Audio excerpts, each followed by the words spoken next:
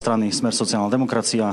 Tentokrát pri treťom zaujímavom čítaní. Vítam aj prítomných pánov a odozdávam slovo predsedovi strany Smer sociálna demokracia Robertovi Ficovi. Nech sa páči. Ďakujem pekne.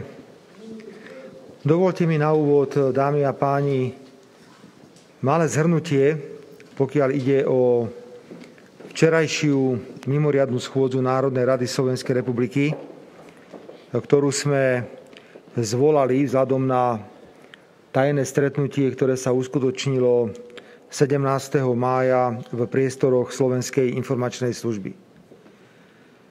Smer sociálna demokracia môže skonštatovať, že to bola veľmi úspešná iniciatíva, pretože táto schôdza nielenže prebehla, ale na tejto schôdzi zazneli aj mimoriadne vážne informácie, ktoré prakticky od okamihu, ako odzneli, naštartovali rôzne vážne procesy.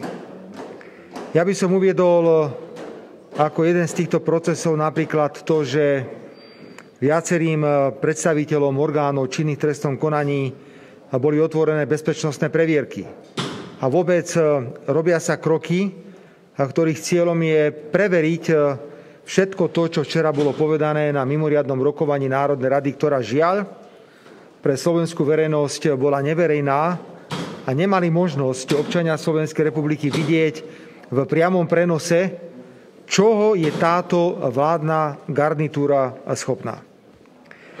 Dovolte mi, aby som teraz eh, vás informoval o ďalších krokoch, ktoré budeme robiť eh, v najbližších hodinách a dňoch. Predovšetkým po tom, čo sme včera úspešne presadili aby na rokovanie Národnej rady bol e, pozvaný aj e, pán Čolinský, bývalý riaditeľ SIS, tohto času vo väzbe, ale bolo mu zabránené vystúpiť pánom Lipšicom, pretože pán Lipšic má milión dôvodov sa obávať vystúpenia pána Pčolinského v Národnej rade. Sme dnes vytvorili ďalší tlak na predsedu Národnej rady a je umožnené individuálnym poslancom Národnej rady oboznámiť sa so správou, ktorú včera prečítal pred poslancami Národnej rady Slovenskej republiky pán Kolár. Ide o správu, ktorú mu doručila Slovenská informačná služba. Nechcem veci komplikovať, chcem pripomenúť, že to tajné stretnutie 17. mája, kde bola prítomná prezidentka, predseda vlády, predseda parlamentu a ďalší a ďalší, toto stretnutie e, bolo vlastne o informácii, ktorá bola prísne tajná. Táto informácia obsahovala mená a konkrétne prípady, ale v prípade Národnej rady sme boli oboznámení, že miestnosť Národnej rady nesplňa kritéria na konanie o prísne tajnom dokumente, preto Slovenská informačná služba ponúkla Národnej rade skrátenú podobu tejto tajnej informácie, ktorú sme včera prerokovali v dôvernom režime.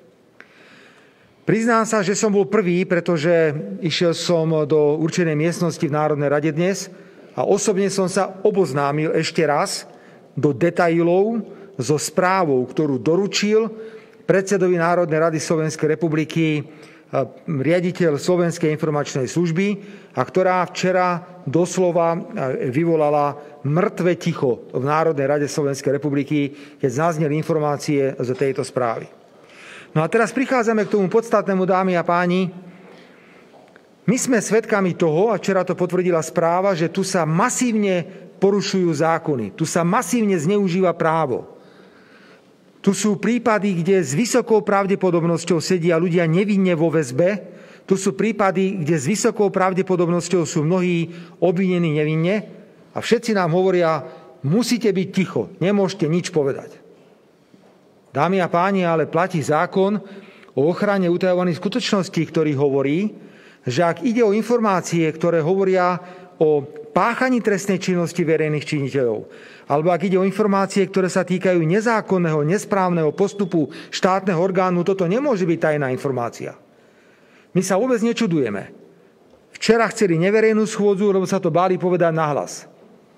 Včera zabránili pánovi Pčolinskému, aby prišiel do Národnej rady a povedal pravdu, lebo tá pravda by bola mimoriadne krutá.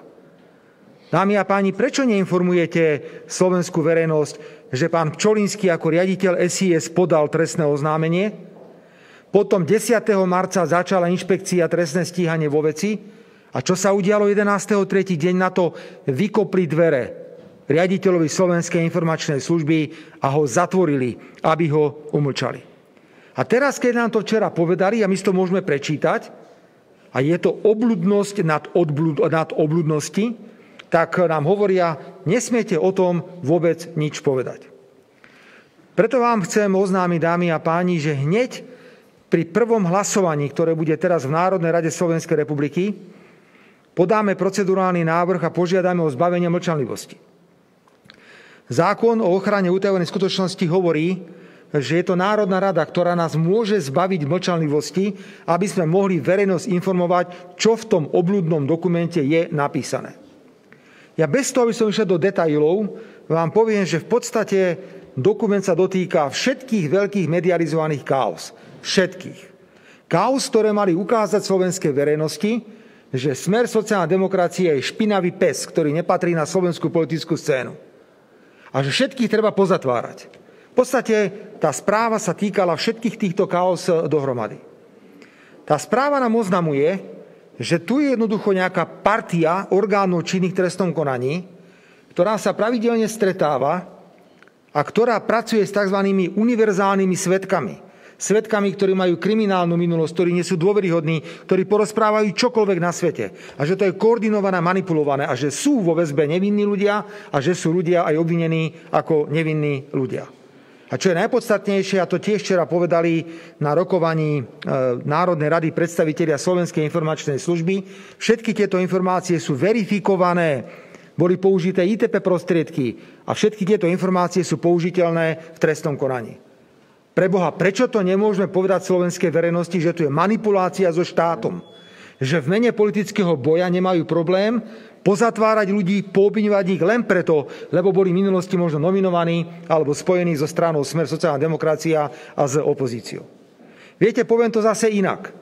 Keby bola opačná situácia, bola by tu vláda Smeru sociálna demokracia a včera by to v parlamente vyšlo, tak ako to vyšlo včera, tak už večer je pred úradom vlády 30 tisíc ľudí. Sú pripravené e, transparenty, ktoré sa normálne tlačia 3 týždne, oni by vytlačili za minútu. Boli by tu poradcovia od Šoroša, boli by tu lietadla zo zahraničia. Všetko by tu bolo. Boli by titulné stránky v novinách popísané o rozklade štátu.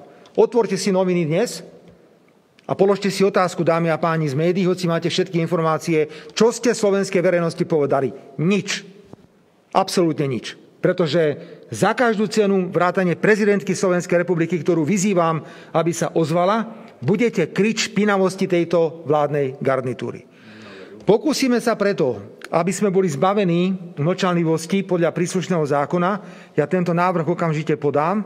A potom, samozrejme, hneď by sme chceli oboznámiť slovenskú verejnosť s celým textom tej správy, ktorá bola včera na rokovaní Národnej rady.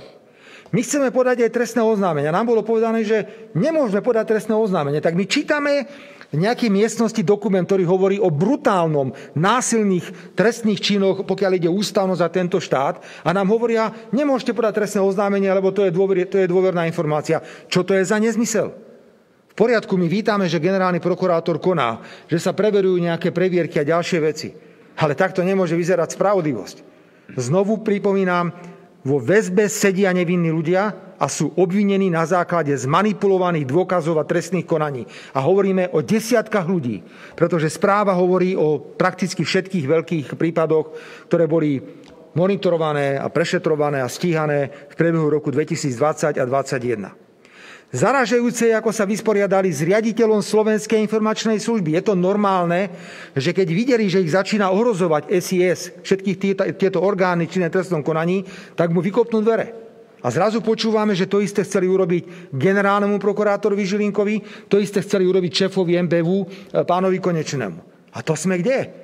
To akože nejaká partia, ktorá je politicky riadená, a o tom musíme hovoriť, bude tento štát deklasovať tak, že už ani nemôžeme hovoriť o akýchkoľvek princípoch právneho štátu.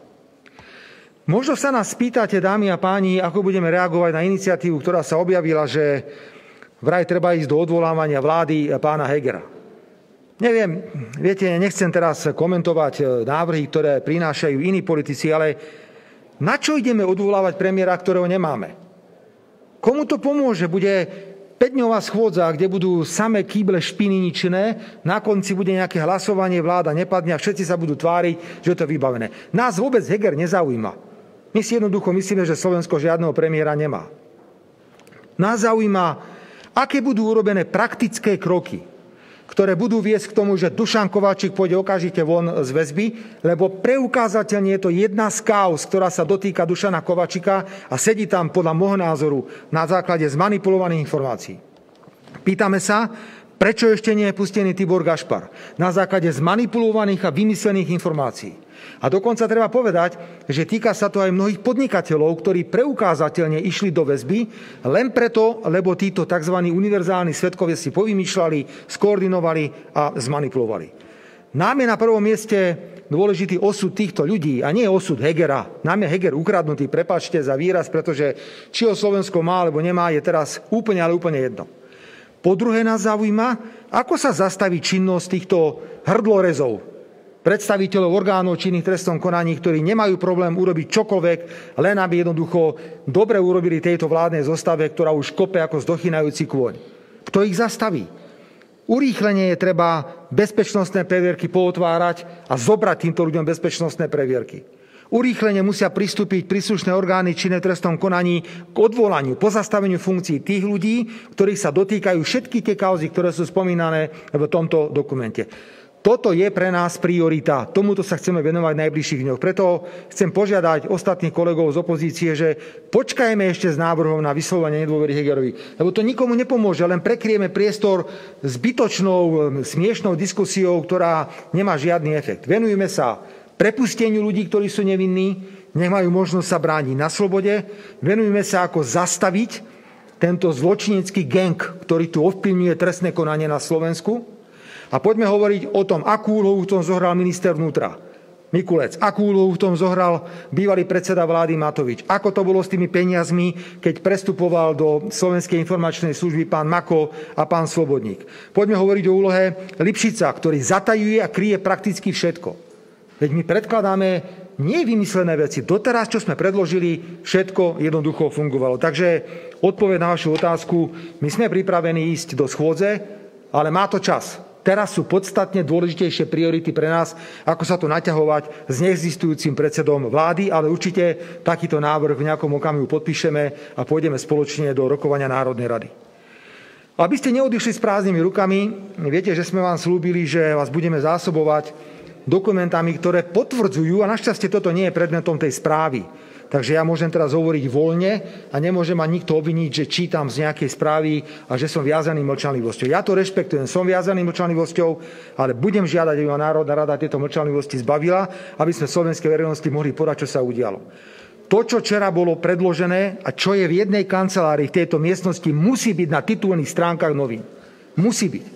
Ak to nebude, tak prestaňme hovoriť o tom, že médiá zohrávajú nejakú úlohu. Prestaňme hovoriť o tom, že toto je právny štát. Prestaňme hovoriť o tom, že tu fungujú nejaké kontrolné mechanizmy. Dámy a páni, spomínate si na meno pán Kučerka. Pán Kučerka je človek, e, policajt, e, obvinený. A jeho meno sme prvýkrát spomínali v súvislosti s jeho manželkou, ktorá podala oficiálne podanie. Ona ako prokurátorka sa obrátila, myslím, na generálnu prokuratúru so sťažnosťou, že prokurátori špeciálnej prokuratúry doktor Repa a doktor Šurek sa vyhrážali jej manželovi, že pokiaľ nebude teraz spolupracovať a vypovedať a robiť to, čo oni chcú, tak mu budú robiť zle, teraz to hovorím v nejakej skratke. Pamätáte sa ešte na gestapácké plášte, ktoré im patria, na 100% im patria týmto dvom pánom.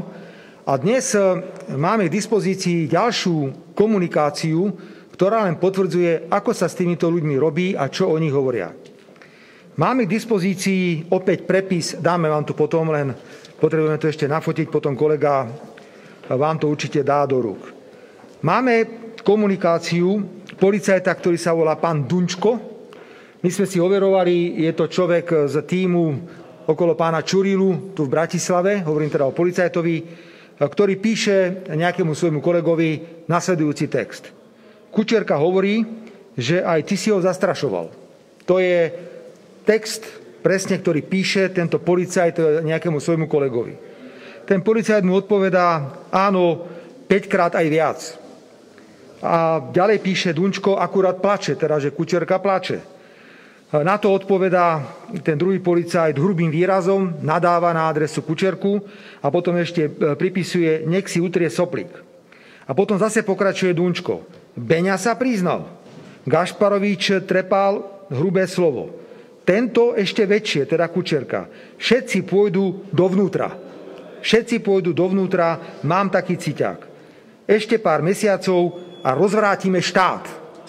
Píše človek z policie nejakému svojmu kolegovi. A potom je ešte samozrejme odpoveď, zase dve slová, ktoré sa nedajú čítať a potom ešte nejaký taký výraz za dobrotu, náš dobrotu. Dámy a páni, toto čo je? A stále nič. Otvorím si noviny a nič tam není. Pustím televízor, nič tam není. Pustím rádio, nič tam není. To chcete zločincov dokedy pre Boha chrániť? A netvárte sa, že nemáte informácie. Všetko, čo máme my, máte aj vy. Všetko máte. Do poslednej bodky. Preto vás chcem vyzvať médií, aby ste si plnili povinnosť voči občanom Slovenskej republiky, lebo tu je zločinecká garnitúra politikov, policajtov a ja tvrdím, že aj niektorých prokurátorov, ktorí sa rozhodli, že budú bojovať s opozíciou tým spôsobom, že budú zneužívať e, trestný systém. To je nevýdané, neakceptovateľné. Musíme prestať hovoriť o štátnosti, o Slovensku ako o krajine ako takej. Opäť, ak vám ani toto nestačí, mali ste úradný zástav, ktorý sa týkal doktora Repu. Predtým sme dali SMS-kovú komunikáciu, ktorá sa týkala vodiča, ktorý mal viesť e, človeka s peniazmi vo veci Dušana Kováčika. Už len po tej sms mal byť Dušan Kováčik okamžite prepustený na slobodu. Dávame vám ďalšiu komunikáciu medzi policajtami. Čo ešte viacej máme tej verejnosti ukázať? Viete, na druhej strane my nemôžeme urobiť chybu. Ja by som naradšej vám teraz, lebo som sa to naučil na spameť, to je 2,5 strany textu. Ja by som kľudne ten text, teraz celý komplet e, zadiktoval, ako som si ho prečítal v tej tajnej miestnosti. Viete, čo by urobili? Tu by ma čakali, aby ma zatkli. Aby ma zobrali a možno, že by mi urobili domovú prehliadku a možno by ma hodili ešte aj niekam do väzenia a povedali by, že musí ísť do väzenia, lebo nás bude všetkých orozovať. Ja nechcem takúto chybu urobiť. Preto ale chcem, aby slovenská verejnosť si bola vedomá toho, že budeme pokračovať v týchto iniciatívach a budeme robiť ďalej, ale vás ešte raz prosím, prestante zakrývať zločiny, otvorené, jasné zločiny, ktoré pácha vláda Igora Matoviča a pána Hegera. Toľko z mojej strany. Ak máte nejaké otázky, nech sa páči. Dobrý deň, Lenka Ježová, teatri. Od tej vašej iniciatívy si slúbujete, že za ňu zahlasujú aj niektorí koaliční poslanci, napríklad Neviem. strana Sme rodina, ktorá súhlasila s tým, aby si predviedli... Pani redaktorka, prepáč, idem, idem po tej prvej otázke hneď. Ja som sa dnes radil s expertmi, čo máme urobiť, pretože my tvrdíme, že ak je to informácia, ktorá sa týka trestnej činnosti verejných činiteľov, nemôže byť utajená, ale oni všetko chcú utajiť. Oni si myslia, že to zostane niekde v šuflíku, my sa to budeme báť vytiahnuť eh, v rozpore so zákonom, lebo nás tu vonku všetkých pozatvárajú kvôli tomu. A tak nejako, že čas bude plínuť a sa to postupne nejako stratí vo vzduchoprázdne. Tak sme došli z iniciatívou, pretože v tomto prípade, pani redaktorka, to nie je Slovenská informačná služba, ktorá je pôvodcom toho textu, ktorá by zbavovala poslancov Národnej rady mlčanlivosti. V tomto prípade je to Národná rada. Dáme ten návrh, lebo chceme ísť procesne v poriadku. Ďalej sa pýtam, čo mám urobiť, keď chcem podať trestné oznámenie? Tak ja tam čítam veci, ktoré hovoria o bludnosti fašisticko-gestapácko-eštebáckého charakteru. A ja nemôžem podať eh, trestné oznámenie, lebo vraj to je, to je tajné. To sa nedá povedať. Veď oni konajú. Ale my si myslíme, že Národná rada musí prevziať kontrolnú činnosť. Národná rada má voči vláde Slovenskej republiky významnú kontrolnú činnosť. A do tej musíme ísť, a mimoriadne radikálne. Ak zahlasujú, budem rád. Ak zahlasujú, tak ma máte zajtra ráno tu nastúpeného a vám nahlas zarecitujem 2,5 strany textu, ktorý bol predmetom včerajšej schôdze Národnej rady. Ale 2,5 textu, ktorý doslova rozvrátil Slovensko za 1,5 minúty. To mŕtve ticho, keby ste videli v tom parlamente, a tie otvorené papule tých predstaviteľov vládnej koalície a ktorí tam sedeli, to ste ešte v živote nevideli. No ale potom sa veľmi rýchlo otriasli a povedali, že to smera Fico, vybavené. Takto to nakoniec včera aj celé, celé skončilo. Verím, že zahlasujú. Ak sa, ak sa tvária, že chcú otvorené e, vládnutie a spravodlivé Slovensko, prečo nepustili včera Pčolinského do Národnej rady? No, lebo vedeli, že Pčolinský by porozprával strašné, ale strašné veci na nich. Preto ho tam jednoducho nepustili a Lipšic si to zobral na seba. Keď čítam tie stanoviska, ktoré Lipšic dáva za úrad špeciálnej prokuratúry. Všetko je vymyslené, my sa už tomu viacej vyjadrovať nebudeme. A to si akože myslí, že čo? Že my budeme ticho? Že nebudeme na to reagovať? Že sa nebudeme pýtať? Minimálne v tomto okamihu Repa a Šurek mali byť daní mimo výkon funkcie. Minimálne. Už aj nehovorím, no samozrejme, kysel ako číslo jedna, keď sa bavíme teda o konkrétnych prokurátoroch, ktorí sú tam. Ak to necháme tak, dámy a páni, tak my budeme mať právo na dennej báze tvrdiť. Na dennej báze tvrdiť. Prvýkrát v histórii Slovenska proti opozícii e, boli použité hrubé fašisticko-gestapácké metódy zneužívania trestného práva a trestný postih ľudí, ktorí tam nemajú čo robiť. To, čo bolo včera, potvrdzuje absolútna väčšina, 95% ľudí, ktorí sedia vo výkone väzby, tam nemajú čo robiť a z nich možno 80% by mal mať okamžite zrušené obvinenie. To zodpovedá textu, ktorý bol včera v Národnej rade.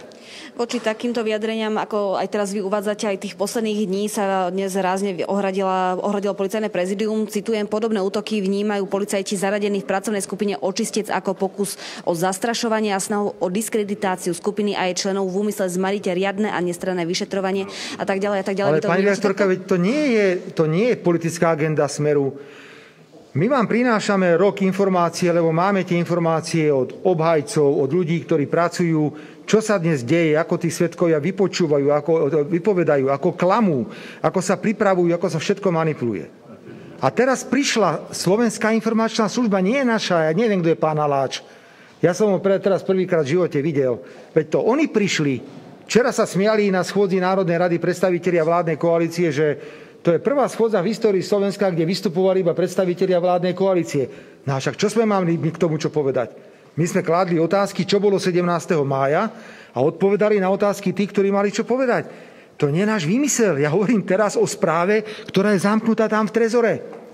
A musíte tam prísť, stojiť nad vami takto človeka na vás pozerá, aby ste si náhodou nejakú poznámočku neurobili. Nedaj Bože, aby ste si to neodfotili a musíte potom odtiaľ odísť sa podpísať tu ešte, že ste to mali, že keď náhodou sa odtiaľ niečo dostane, takže som to bol ja alebo niekto iný, toto prečítal.